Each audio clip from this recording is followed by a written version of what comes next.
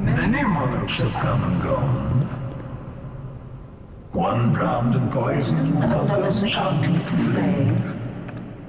Still another slumbers in the realm of ice. Not one of them stood here. As you do now.